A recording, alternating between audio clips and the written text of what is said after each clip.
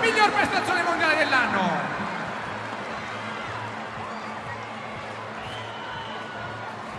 È la più forte.